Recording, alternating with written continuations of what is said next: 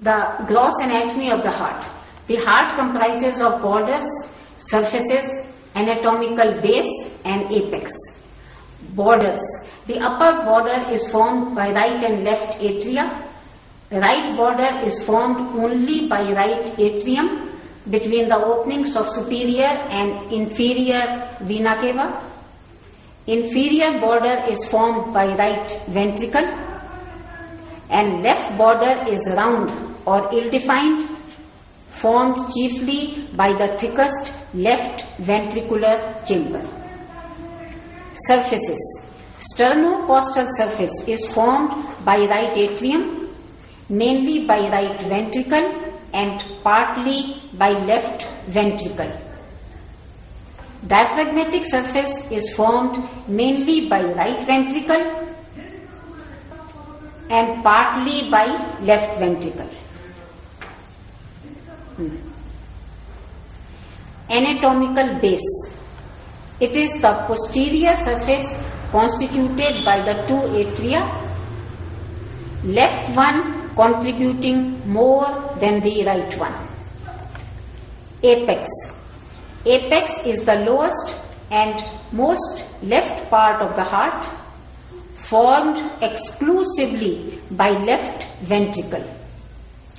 The apex is the pulsating or beating part of the heart felt in the fifth left intercostal space 9 centimeters from the median plane within the mid clavicular line. Anatomical position. Having identified borders, surfaces, apex, and base, one should be able to place the heart in anatomical position. The flat diaphragmatic surface is put on the left palm Apex lies safely between the left thumb and left index finger. A right straight venous border is on the right side and the convex left border on the left side. The atrioventricular grooves or sulci. The atria and ventricles are separated by atrioventricular sulci. Anterior atrioventricular sulcus on the right side is oblique between right atrium and right ventricle. Then it turns around the inferior border to continue as posterior atrioventricular sulcus between the base and diaphragmatic surface of heart. Anterior atrioventricular sulcus on the left side lies between small left auricle and left ventricle. It is rather short. It turns along left border to continue as posterior AV sulcus which continues with the one coming from the right side. The interventricular grooves or sulci.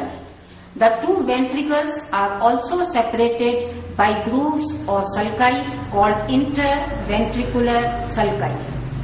The anterior interventricular sulcus separates the two ventricles on the anterior or sternocostal surface.